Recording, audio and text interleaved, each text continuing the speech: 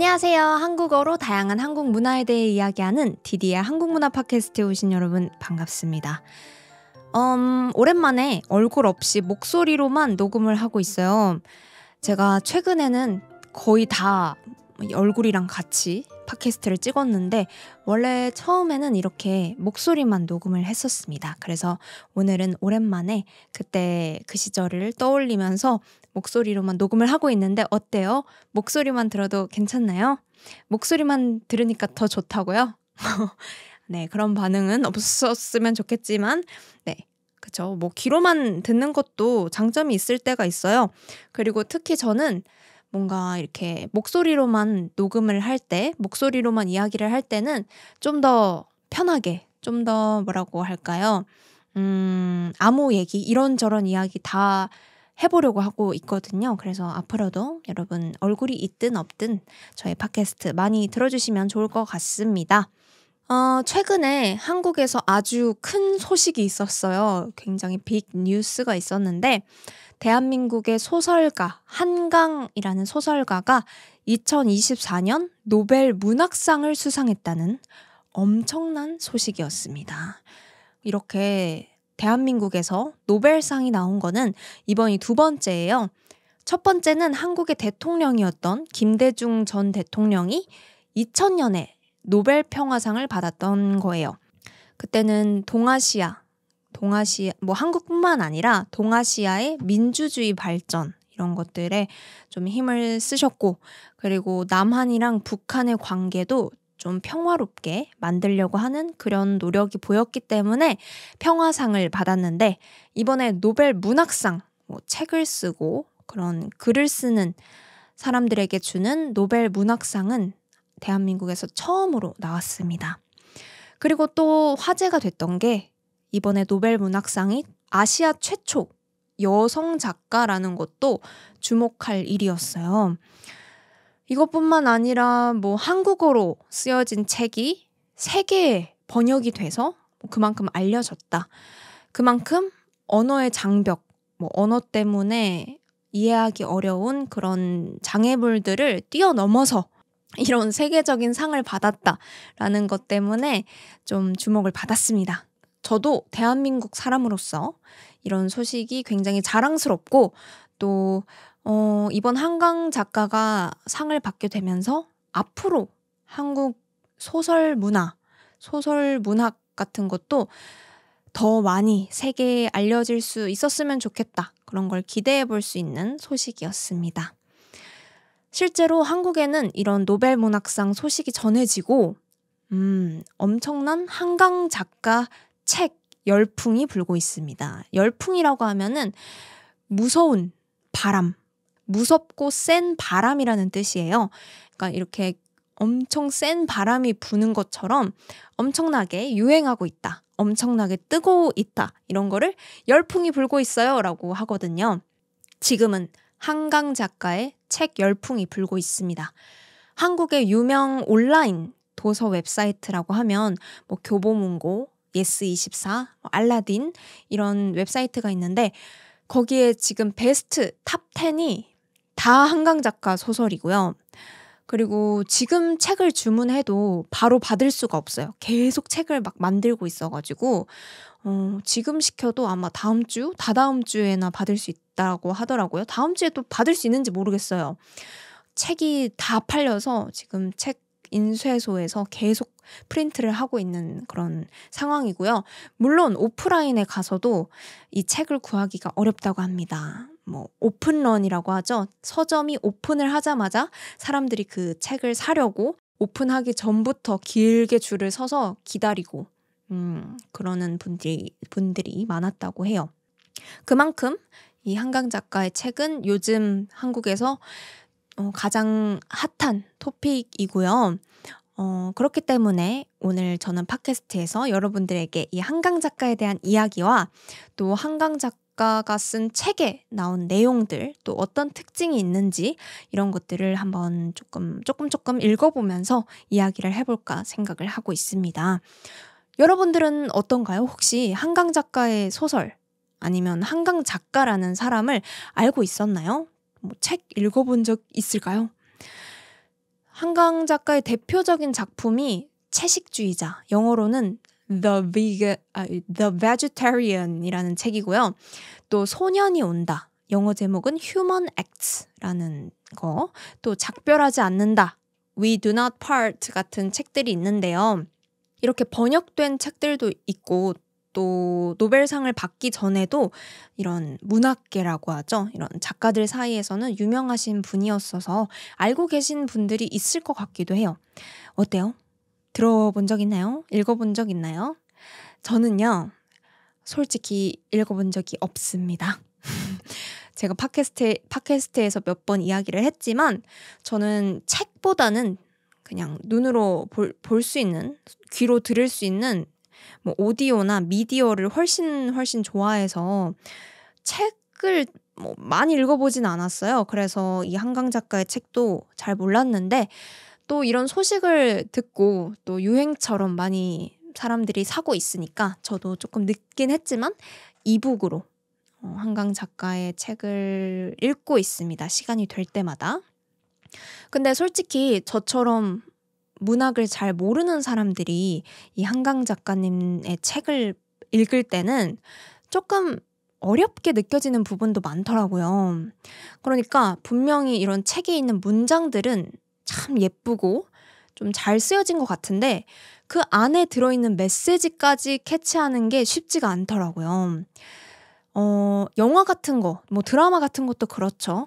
한국의 기생충, Parasite 그 영화도 엄청 히트를 쳤고 또 세계에서 되게 호평을 받았습니다. 좋은 평가를 받았는데 솔직히 영화에 대해서 잘 모르는 사람은 그냥 그 두 시간 영화를 딱 보고 뭔가 그 영화에 담겨 있는 깊은 메시지, 뭐 심오한, 심각한 그런 교훈, 레슨 같은 거를 다 이해하는 거는 어려운 사람도 분명 있을 거란 말이죠. 저한테는 이 한강 작가님의 책도 조금 그랬는데 아마 여러분들도 특히나 이렇게 외국어로 적혀 있는 책들 또는 외국에서 만든 책을 읽다 보면은 좀 어려운 부분도 분명히 있을 것 같아서 오늘은 이렇게 한강 작가님의 노벨 문학상 정말 축하드리면서 지금 한국에서 화제가 되고 있는 한국 한국 작가님이 아니고요. 한강 작가님의 작품들에 대해서 좀 이해해보는 그런 시간을 가져보면 어떨까 생각을 하고 있습니다. 이렇게 이름을 틀리면 안 되는데 이름을 틀려버렸어요. 한강 작가님인데요. 어, 좀 TMI, 약간의 보너스 정보인데, 한강이라는 이름이 저는 그 작가 이름인 줄 알았거든요. 그냥 닉네임 같은 건 줄 알았는데, 실제 이름이 한강이라고 하시더라고요. 그래서 이름도 너무 예쁘지 않나요? 이름도 뭔가, 어, 책, 책에 나오는 주인공 같 같다라는 생각도 들었습니다. 음. 그래서 한강 작가님은 어, 어떤 특징을 가지고 책을 써오고 계신지 또 작품에서 어떤 점이 좋다고 느껴져서 이렇게 세계적으로 큰 상을 받을 수 있었는지 여러분들이 처음 도전해보기 좋은 한강 작가님의 책은 어떤 것들이 있는지 그런 거에 대해서 어, 이야기를 해보도록 하겠습니다. 네, 그러면 재밌게 들어주세요.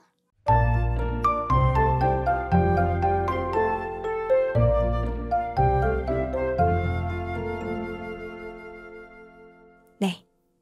이번에 노벨 문학상이 발표될 때, 음, 한강 작가가 노벨 문학상을 받는 이유는 이거입니다. 하고 그 이유를 같이 이야기를 해줬는데 그 이유가 뭐냐면 이거였습니다. 한강 작가의 작품은 역사적 트라우마에 맞서고 삶의 연약함을 드러낸 강렬한 시적 산문이다. 라고 했습니다. 무슨 말이지? 이게 말이 조금 어렵죠.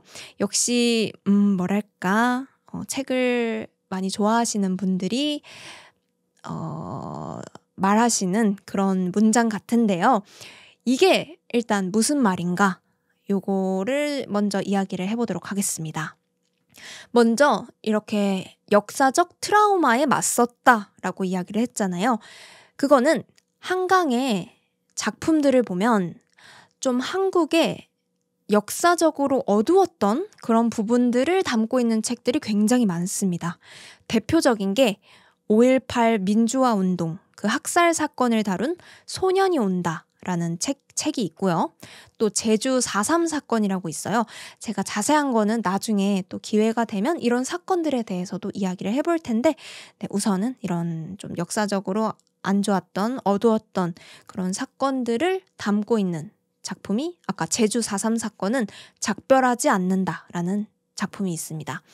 그래서 이런 역사적인 내용을 많이 다루고 있고 또 역사적인 부분 중에서도 좀 아팠던 부분들, 트라우마가 있는 그런 상처들, 이런 부분들을 좀 많이 다뤘다는 점, 이걸 알 수가 있고요. 또 두 번째는 이런 말이 있었죠. 삶의 연약함을 드러냈다.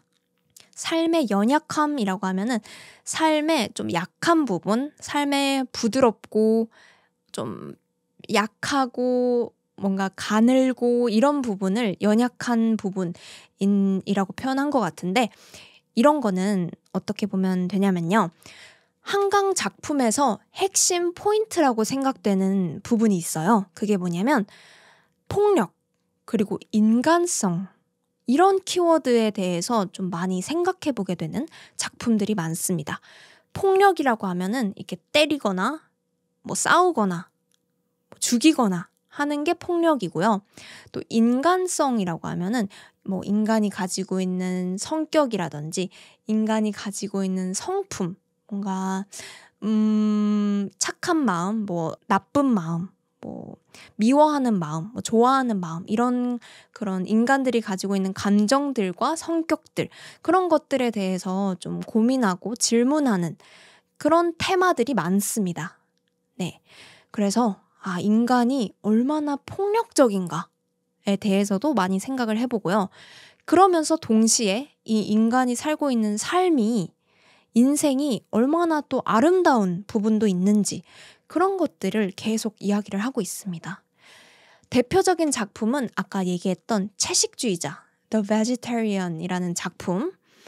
어, 고기를 먹는다는 행동이 뭐 일상적인 사람들도 많죠. 저도 어, 고기를 좋아하는데 그렇게 고기를 먹는다라는 게 사실은 어떻게 보면 다른 생명을 죽이는 일이기 때문에 폭력적인 어, 일이 되기도 하죠. 어, 일이기도 하죠.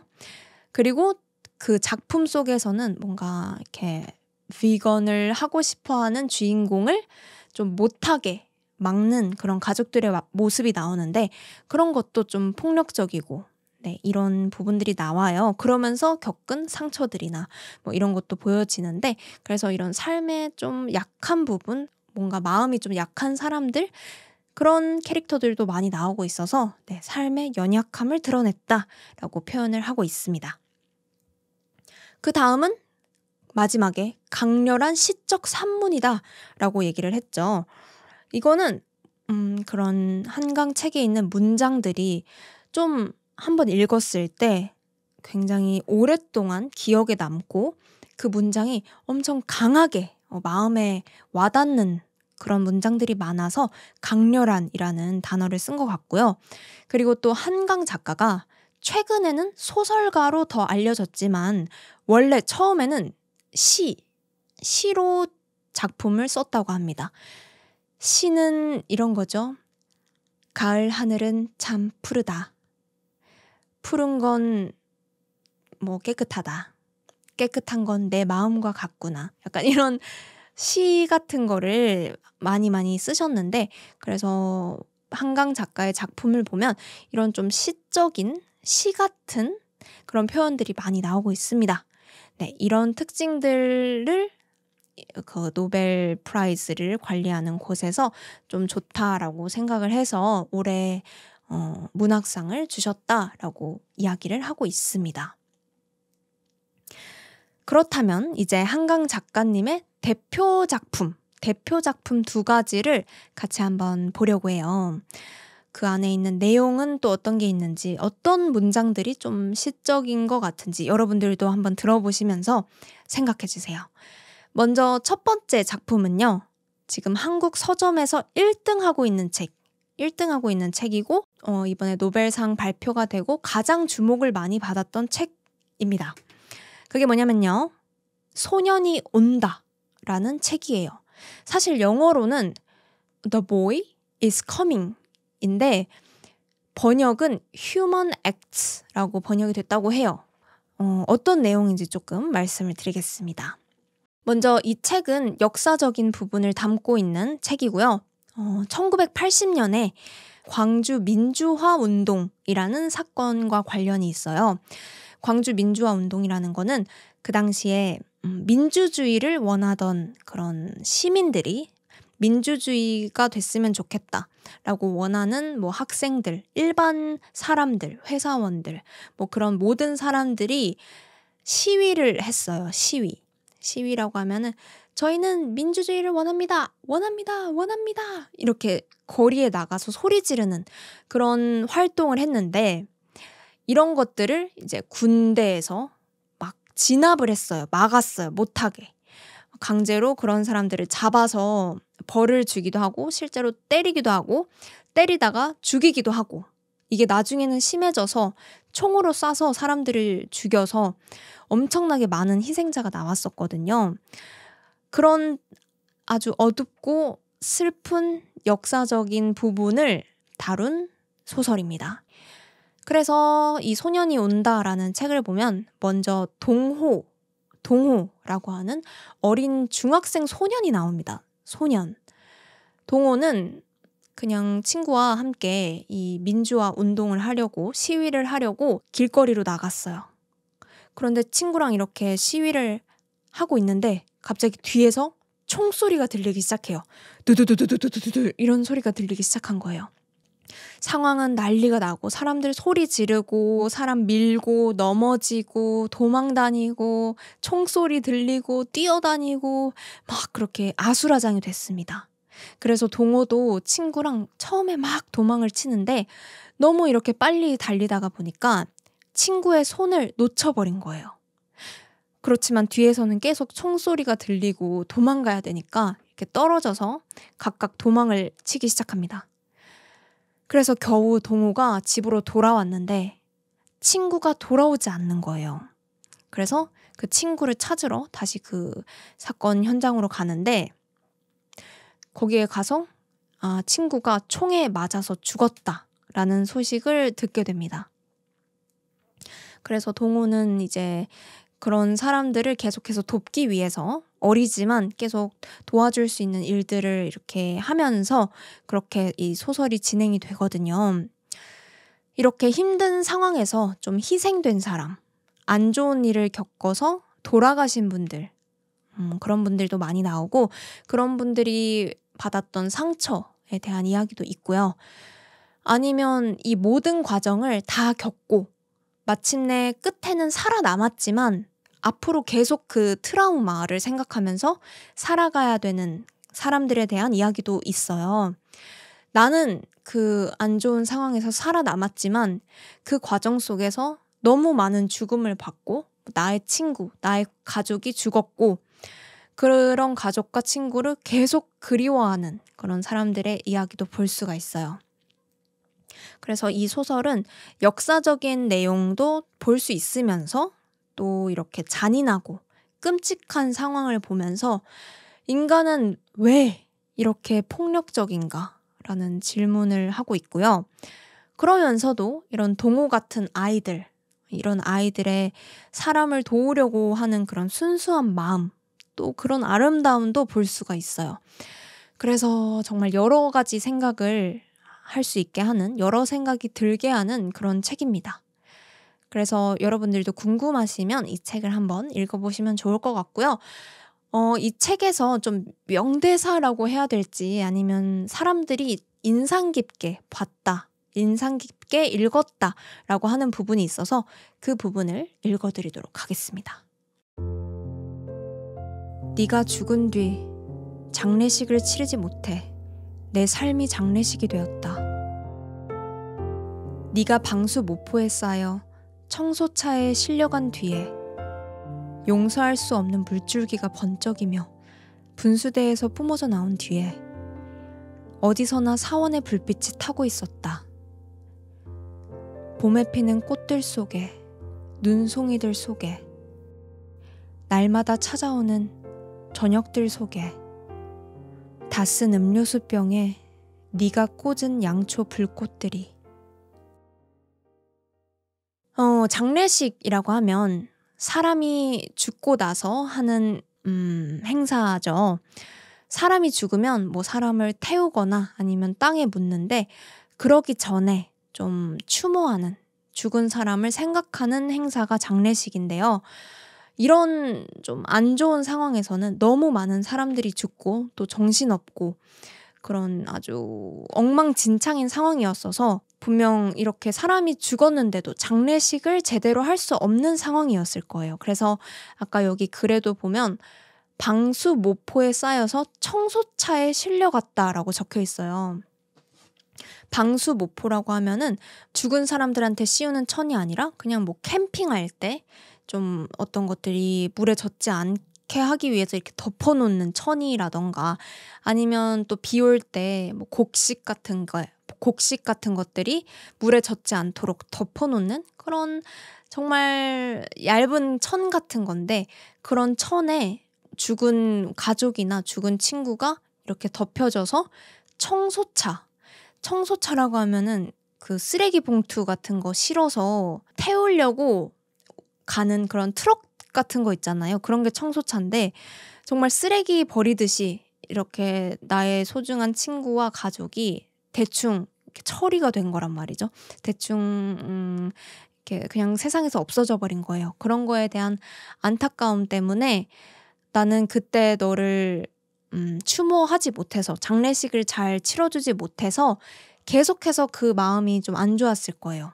음, 계속 살아있는 동안 그 슬픈 마음을 가지고 있어서 어, 너의 장례식을 잘 그때 해주지 못해서 내가 살아가는 이 삶 전체가 장례식이 되었다. 아마 내가 죽을 때까지 너를 잊지 못하고 슬픈 마음으로 살게 될 것 같다. 라고 하는 그런 내용이 담겨 있습니다. 슬프죠? 네, 그만큼 슬프고 많은 생각을 들게 하고 또 많은 질문을 만들어내는 그런 소설이기 때문에 그래서 또 이만큼 많은 사람들의 관심과 사랑을 받을 수 있었던 것 같기도 합니다. 네, 여기까지 소녀는 온다라는 소설이었고요. 이제 두 번째로 또 인기 있는 소설, 채식주의자라는 소설입니다. 이 소설은 맨부커상이라고 하는 그 영국의 최고 문학상도 받았어요. 노벨 문학상 다음으로 좀 유명하고 인정받는 소설책이 아니 소설상이 이게 문학상이 맨부커상이라고 하는데요. 그 상도 받았다고 합니다. 그래서 이 채식주의자 내용을 한번 보면요. 우선 주인공은 영혜라고 하는 평범한 여자예요. 근데 이 여자가 어느 날 기괴한 꿈을 꾸게 됩니다. 엄청 끔찍하고 이상한 그런 꿈을 꾸게 돼요. 어떤 꿈이었냐면 캄캄한 음, 동물들의 집 같은 곳에 내가 있어요. 근데 그곳에서 인간들이 그 막 몸이랑 막 얼굴에 피를 묻혀가면서 고기를 먹는 그런 꿈을 꾸게 돼요. 아주 이상하고 막 기분이 너무 이상한 마음으로 일어나서는 그 이후부터 고기를 먹는 걸 거부하기 시작해요. 채소를 먹는 사람들, 채소만 먹는 사람들을 채식주의자라고 하는데 고기를 먹는 거는 육식이라고 해요. 그래서 그런 육식하는 거를 거부하기 시작합니다. 그런데 뭐 요즘은 인식이 많이 바뀌고 있고 또 각자의 뭐 개성이라고 할까요? 각자의 성격이나 그냥 한 사람의 모습을 좀 받아주는 그런 오픈 마인드가 많이 생기고 있지만 옛날에는 그런 것들이 많이 없었어요. 고기를 안 먹어? 이상한 사람. 이렇게 생각하는 사람들이 많았던 거죠. 그래서 이 영애라는 여자도 갑자기 고기를 안 먹으니까 그런 게 한국 사회에서 좀 이상하다라고 사람들이 생각을 하게 되는 거죠. 이상한 사람처럼 취급을 받게 되고 심지어는 가장 가까운 가족들과 남편한테도 계속 무시를 당하기 시작해요. 그러면서 점점 몸과 마음이 아프고 병이 들어갑니다. 그래서 결국에는 정신병원에 입원하게 돼요. 그 병원에서 영혜의 언니가 계속 좀 도와주려고 하고 보살펴 주는데도 이제 점점 이 영혜라는 주인공은 아무런 음식도 먹고 싶지 않아 해요. 그러면서 하는 대사가 있는데 이런 대사입니다. 꿈에 말이야. 내가 물구나무 서 있었는데 내 몸에서 잎사귀가 자라고 내 손에서 뿌리가 돋아서 땅속으로 파고들었어. 끝없이 끝없이. 나 몸에 물을 맞아야 하는데. 언니, 나 이런 음식 필요 없어. 물이 필요한데. 손에서 뿌리가 돋고 뭔가 이렇게 나무 잎사귀가 돋아나고 나뭇잎이 자라고 이런 걸 보면 어, 내가 꿈에서 나무가 되었어. 그래서 나는 지금 아무런 음식도 필요 없고 그냥 물이 필요해. 라고 얘기를 한 거죠. 아니, 왜 갑자기 또 나무가 되는 꿈을 꿨을까요? 이거는 이 영혜라는 주인공이 계속해서 육식, 고기를 먹는 거랑 또 사람들의 폭력 이런 것들을 반대하고 계속 거기서 도망치려고 하다 보니까 가장 극단적인 상황까지 간 거예요. 이 사람이 생각할 수 있는 가장 끝까지 간 거죠. 그래서 이런 인간의 삶은 너무 잔인하고 그런 삶에서 나는 벗어나고 싶고 그냥 인간이고 싶지 않고 나는 나무가 되고 싶어. 왜냐면 나무는 뭔가 다른 동물을 잡아먹지 않아도 되고 뭐 다른 식물을 잡아먹지 않아도 되고 피를 흘릴 필요도 없고 그렇기 때문에 나는 인간이 아니라 그런 평화로운 존재가 되고 싶다라고 이야기를 하는 장면이 나옵니다. 이런 것도 조금 처음 봤을 때는 무슨 이야기를 하고 싶은 거지? 라는 생각이 들 수도 있고, 어, 왜 갑자기 나무가 되고 싶다고 하는 거지? 이런 생각도 하게 되고, 어, 영혜라는 사람이 이상한 것 같은데? 뭐 이렇게 생각하시는 분들도 있을 것 같아요. 그래서 이, 이 작품은, 음, 인간의 뭔가 잔인한 면? 잔인한 부분 같은 것도 보여주고, 그러면서 우리는 이 잔인한 면을 보지 않고 살 수가 있을까? 살 수가 있다면 어떻게 피하고 어떻게 그걸 거절하면서 살 수 있을까? 음, 그런 세상에서 나는 앞으로 어떻게 살아야 되지? 우리들은 뭘 하면서 살아야 되지? 이런 것들에 대해서 고민해 볼 수 있는 책이고요. 뭐, 책에 대해서 느끼는 점이나 아니면 생각하게 되는 부분들은 다 다를 것 같아서 이 책도 어, 한번 보, 보시고 앞으로 영애가 어떤 선택을 하게 되는지, 어떤 장면들이 또 어떻게 표현됐는지 이런 것도 한번 읽어보시면 좋을 것 같습니다. 이렇게 좀 한강 작가님의 책 중에서 유명한 작품 두 가지를 소개해드렸고요. 이제 마지막으로 한국에서 좀 화제가 되고 있는 한강 작가님의 에피소드, 어떤 에피소드 한 가지를 소개해드리려고 해요. 이렇게 소설들도 좀 화제가 됐지만, 음, 인터넷에 또 이런 에피소드도 돌아다니더라고요. 좀 인기가 있더라고요.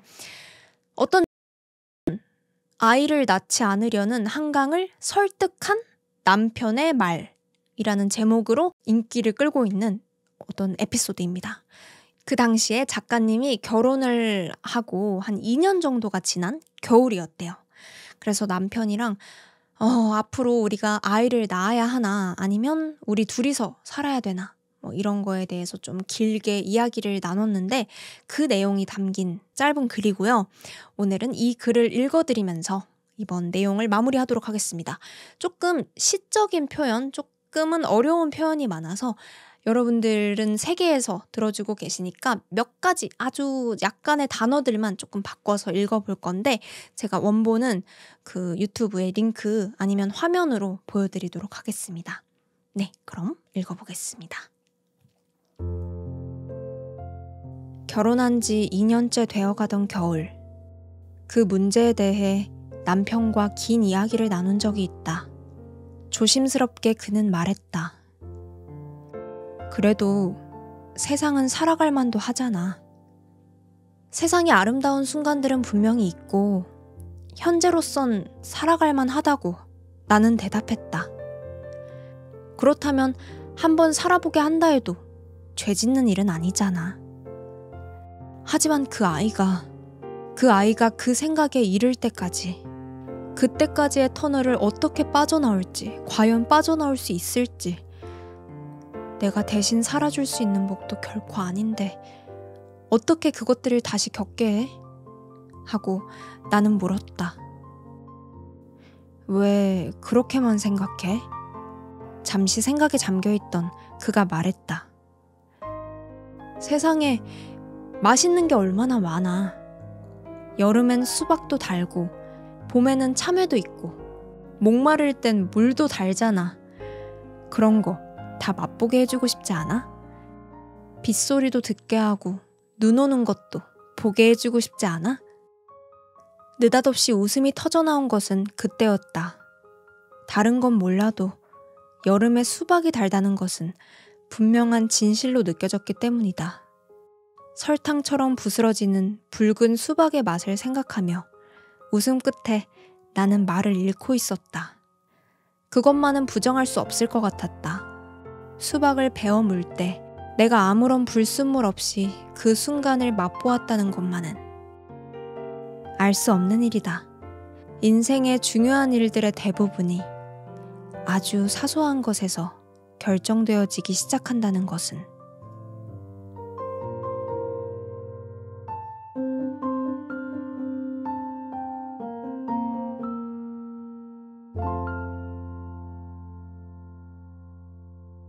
네. 이 짧은 이야기 여러분들은 어떻게 들으셨나요? 뭔가 이 따뜻한 감성, 따뜻한 문장들이 여러분들 마음에도 좀 들어왔나요? 저는 이 글을 보고 어, 여름에 굉장히 더울 때 TV를 가족들끼리 같이 앉아서 보면서 먹었던 그 시원하고 달콤했던 수박. 음, 그건 진짜 행복의 맛이지, 맛있었지 하는 그런 생각을 했는데요. 이렇게 작은 행복의 소중함. 이게 얼마나 아름다운 건지 생각해 볼 수 있는 글이었던 것 같습니다. 네, 오늘은 이렇게 한강 작가님의 글들을 읽어봤는데요. 이렇게 한국어로 적힌 책이 노벨상, 세계적인 상을 받을 수 있었던 것만큼 책뿐만 아니라 번역가들도 주목을 받았어요. 이 책을 번역한 사람. 어디서 봤는데 한국어가 번역하기 굉장히 까다로운 언어라고 하더라고요. 그 슬프다. 영어로는 sad라고 하는 그 단어가 한국어로는 뭐 슬프다, 서글프다, 서럽다, 한스럽다, 원통하다, 애달프다, 마음이 쓰리다, 속상하다, 섭섭하다. 이게 너무너무 많아요. 그래서 이런 그 작은 아주 미묘한 감정의 차이를 어떻게 잘 전달했을까 이런 것도 궁금하더라고요. 그래서 어, 이 한국 책의 번역본들, 뭐 영어 버전 아니면 일본어 버전 이런 것들도 좀 궁금해졌습니다. 그러니까 여러분들도 아마 한국어 다 공부하고 계시는 것 같아요. 그래서 어, 한국어 책 뭐 읽을지 좀 추천해 주세요 하시는 분들도 가끔 있었는데 지금 한국에서 가장 인기가 있고 화제가 되고 있는 이 한강 작가님의 책을 읽어보시는 것도 좋을 것 같습니다. 제가 오늘 소개드렸던, 소개해드렸던 소년이 온다. 그리고 채식주의자 이 두 가지도 좋고요. 그거 외에도, 그거 말고도 작별하지 않는다. 아니면 흰이라고 하는 책들도 있거든요. 그래서 여러분들도 뭐 번역판도 좋고 아니면 정말 이런 한국적인 문장을 더 느껴보고 싶으면 한국판을 도전해 보시는 것도 좋을 것 같습니다. 조금 어려울 수는 있지만 그래도 그 느낄 수 있는 감동이 훨씬 더 크지 않을까 생각하고 있습니다. 저도 이번 계기로 책을 잘 안 읽다가 오, 책 좀 읽어볼까? 네, 이런 생각을 하게 됐거든요. 요즘에 독서를 하는 사람들이 점점 줄고 있다고 하는데 또 여러 가지 긍정적인 영향을 가져온 일인 것 같습니다. 여러분들도 혹시 이 한강 작가님에 대한 소설 책이나 아니면 제가 오늘 소개해드린 내용들에 대해서 느낀 점이 있다면 댓글로 많이 알려주시면 감사하겠습니다. 마지막으로 안내 말씀 하나 드리겠습니다. 디디의 한국문화 팟캐스트는 Patreon과 유튜브 멤버십을 하고 있습니다. 이 팟캐스트가 계속해서 더 좋은 콘텐츠 만들 수 있도록 응원하고 싶으신 분들은 아래 설명창에 있는 링크를 눌러서 여러분들의 마음을 보내주실 수가 있습니다. 보내주신 마음 정말 정말 감사합니다.